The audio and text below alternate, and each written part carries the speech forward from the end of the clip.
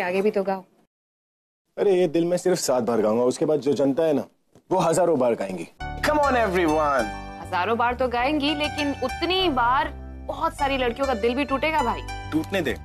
As long as मेरा दिल ना टूटे आ गया भाई आपका दिल कभी नहीं टूट सकता। वैसे कहने कन्फेस समथिंग मैंने कभी नहीं सोचा था आपके ये स्टूपिड सॉन्ग्स इतने ज़्यादा हिट होंगे। क्या बात है आलिया? मेरी बहन को मुझ पर भरोसा नहीं। But you know what Alia मैं हमेशा से जानता था कि मैं एक बहुत बड़ा स्टार बनूं और बहुत पैसे कमाऊं। और मैं ये भी जानता था कि पूरा आगे चलकर मेरा सारा बिज़नेस संभालेगा और मुझे इस बारे में सोचने की ज़रूरत नहीं पड़ेगी। और मेरी प्यारी सी नकचरी बहन को दुनिया की हर वो चीज़ ला कर दूँगा जिसकी उसे ज़रूरत है। Anything she wants you're a rock star?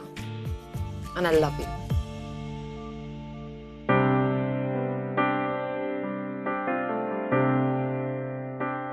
Alia वो चौल देख रही हो? वहीं पर हम रहते थे। भाई अब भी उस चौल के बारे में सोच रहे हो। नहीं। और सोचना भी मत। पूरा एपिसोड देखिए Z5 पर। ये खाना कैसे नहीं पहुँचा माँ ने तो कब भेजा था बुलबुल के हाथ से? मैं देखती हूँ हाँ, अरे दी तू कहाँ जा रही है? तो खाना नहीं पहुँचा क्या इन लोग को? अरे मैंने मामी के यहाँ तो भिजवाया था।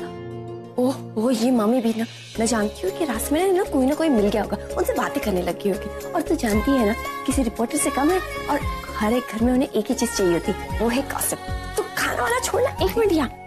चल ना आप दोनों प्लीज़ अपनी दोनों भूख कंट्रोल करके मुझे एक बात बताइए ना। आ, एक मिनट ये अपने हाथ कर। क्यों? कर ना क्या कर रही? अब बताइए किसकी मेहंदी सबसे ज़्यादा सुंदर है?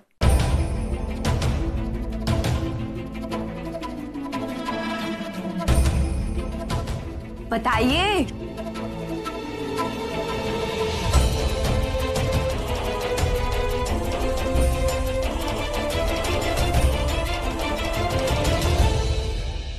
प्रज्ञा की।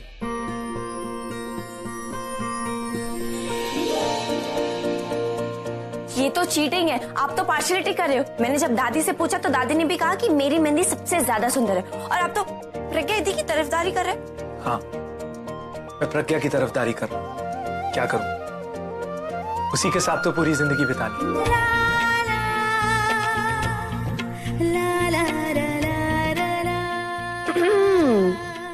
मैं, मैं खाना लगाती हूँ। दी को हेल्प करके आती हूँ।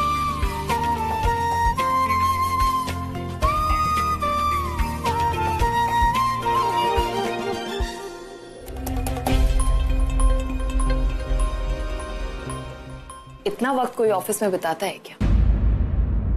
ऑफ़िस के बाहर भी तो कोई लाइफ होती है, मिस्टर पूरब। ऐसे कैसे निभेगी हमारी हम्म?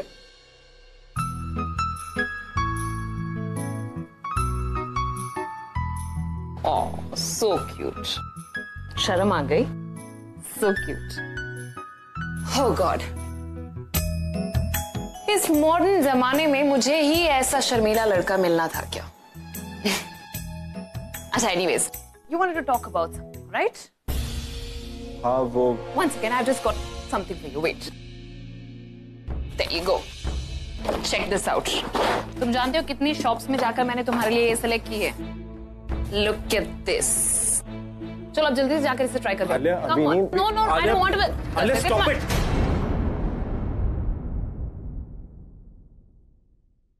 what happened Alia मैं आलिया हम दोनों भी एक दूसरे को ढंग से जानते भी नहीं है। What nonsense, पूरब। हम बचपन से साथ हैं। मैं शादी के पॉइंट ऑफ़ व्यू की बात कर रहा हूँ। इट्स टू अर्ली तुम अभी ऑस्ट्रेलिया से वापस आई हो एक साल बाद। एंड आते ही ये सब। मुझे कुछ वक्त की ज़रूरत है। Time? Time for what, पूरब? आलिया समझने के लिए। अपने आप को अपनी फीलिंग्स को। आलिया ये सब बहुत जल्दी में हो रहा है।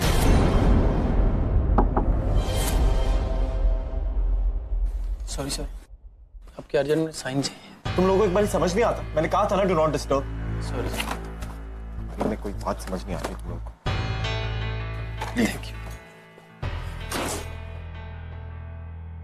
बोले पूरब क्या बोलना चाहते थे तुम? आलिया मैं ऑफ़िस में यहाँ पे बात नहीं कर सकता।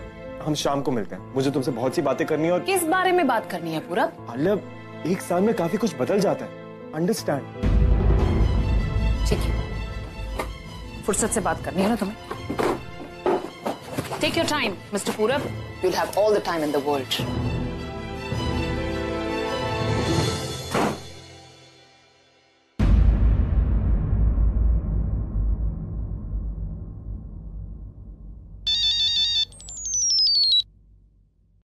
हाय तुम कहाँ हो?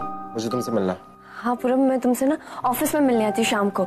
अब थोड़ी देर हो जाएगी। तुम जानते हो ना यहाँ पे सारे मेहमान। देखो जितना जल्दी हो सके आ जाओ मुझे तुमसे बात करनी ओके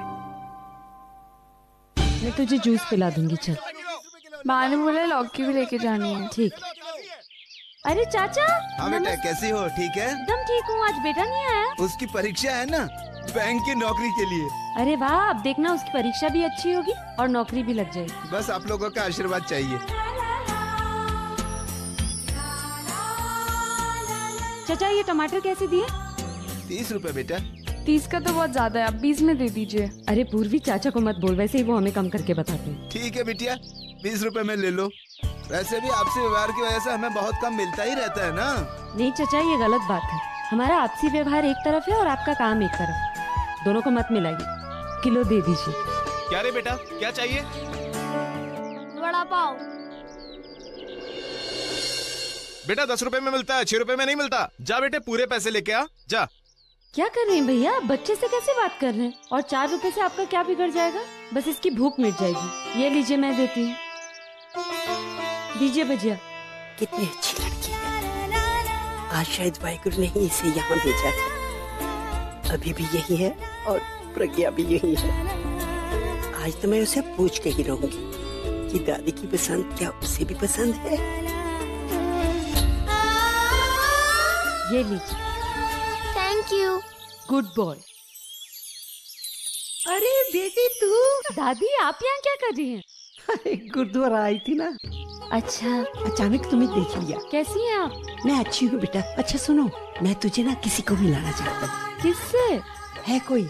तू बस इधर रुकना लेकिन वो मुझे काम भी है दादी। बूढ़ी दादी की बात मान ले बेटा।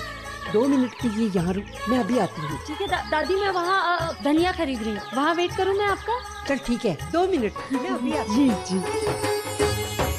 ये नई दादी कब पैदा हो गई हमारी?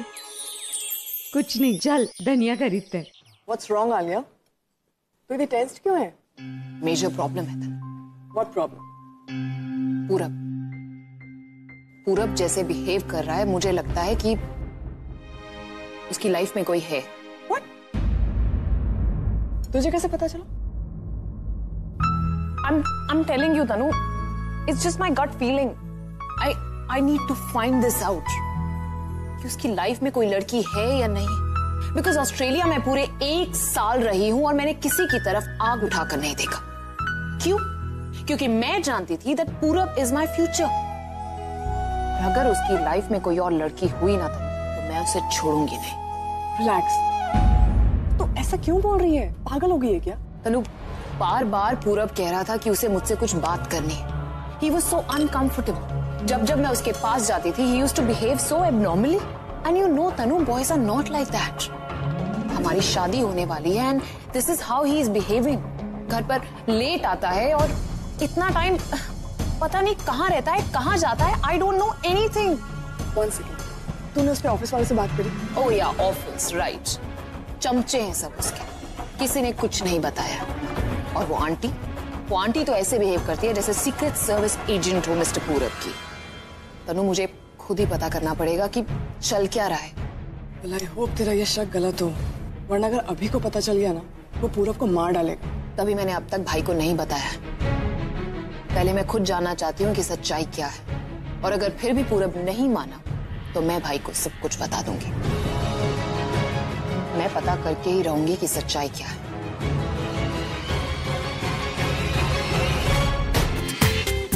पूरा एपिसोड देखिए Z5 पर